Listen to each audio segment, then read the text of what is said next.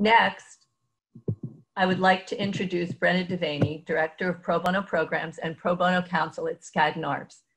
Brenna is a longtime champion of VOLS and has inspired Skadden lawyers to work on many of our projects, including a highly successful partnership with the Dream School through our school-based children's project. VOLS was formed by the city's major law firms and corporate law departments in 1984 in response to severe federal budget cuts to legal services for low-income Americans.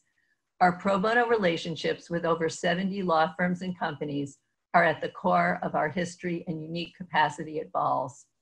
Skadden is one of our most active law firms, including participation in longtime board service and significant pro bono contributions across the three plus decades. From that vantage point, we are fortunate to now hear from Brenna as she reflects upon VOLS's impact under Marcia's tenure.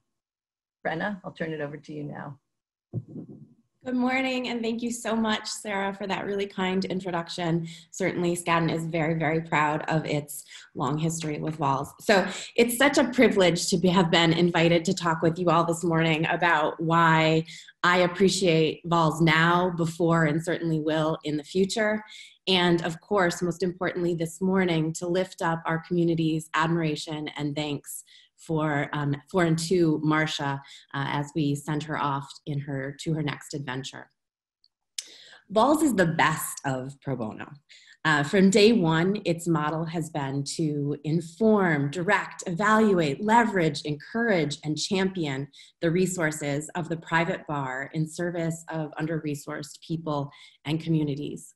VOLS is the ultimate efficiency builder, efficiency finder, and VOLS is the expert connector and matchmaker um, of people with needs and, and to the resources that will help them, of lawyers who care about things in this world, um, to the places and people and communities who need their assistance. VOLS cultivates the absolute best in us I think that you saw that showcase today in hearing from so many important community partners to VOLS. I, I think you saw that in Roe's involvement uh, with VOLS before his time at Citi and certainly now. I hope you see that in my involvement with, with VOLS as well. And absolutely, we see what VOLS brings out in terms of the best of people in Marcia's leadership in. So let's, let's talk about Marcia for a few minutes. Um, in every role that I've known Marcia to take on, she is the piece of the puzzle that was needed to keep things moving forward. She's not the last piece, but she's more she's something more like the corner piece or the foundational piece that you needed to find or you might have thought about giving up.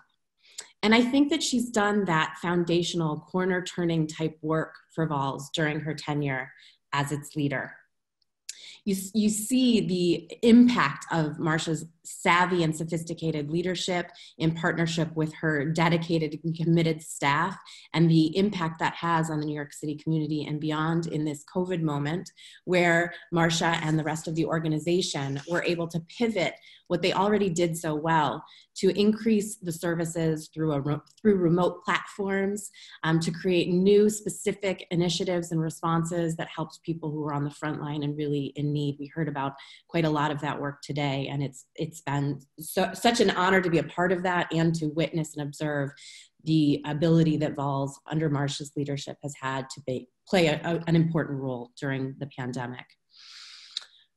Marcia, much like she has in many moments before, was called upon by leaders and other stakeholders during the pandemic to do what she, like no other, can do. And that's to create dialogue across communities and stakeholders, to come up with solutions, to smooth the edges, um, and to make sure that we're working together in community to achieve the things that need to be done. I think she's able to do this not only because she has experience in almost every sector that law- lawyers find ourselves in, and so she knows how to create those cross sector dialogues, but also because she has remarkable expertise, compassion, kindness, dedication, and is one of the hardest working people I know. So that impact has been felt by all of us I know throughout this pandemic and before um, by VOLS and the community that surrounds VOLS. Marcia is someone who, through all of her um, expertise, kindness, compassion, and, and so on, creates pro bono magic. Vols is going to be okay, as it says farewell, fondly and with thanks to Marcia, because Vols is mighty and smart and strong and filled up with the most dedicated people I know.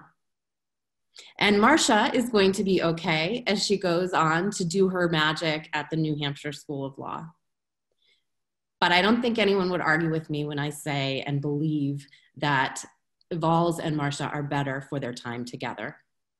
I'm so glad that I had a front row seat for this, this time period in Vols history to witness Marcia's effective leadership and all that they accomplished together.